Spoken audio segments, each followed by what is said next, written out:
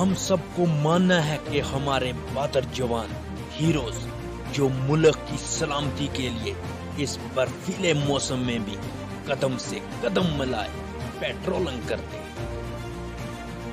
फौज के जवान अपने लिए इस बर्फीले मौसम में फख्र की बात महसूस करते यही वजह है कि भारतीय फौज पूरी दुनिया में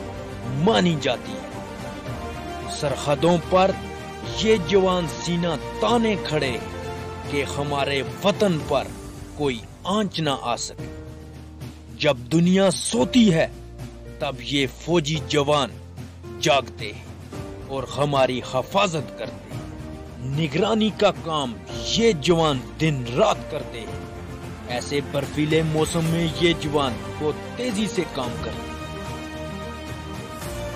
बर्फ़ में चलना बहुत ही खतरनाक मगर भारतीय सेना इस बर्फीले मौसम में सच्ची लगन से सीना तान के अपने मुल्क की रक्षा करते हेलीकॉप्टर के ज़रिए इन फौजी जवानों को उस जगह पहुँचाया जाता है, जहाँ दुश्मन की कोई हरकत हो। सर्दियों के मौसम में ये फौजी जवान छह छह महीने तक इस बर्फ़ से लड़ाई लड़ते हमारी हमेशा से कोशिश रही है कि हम भारत के इन वीर जवानों को सलाम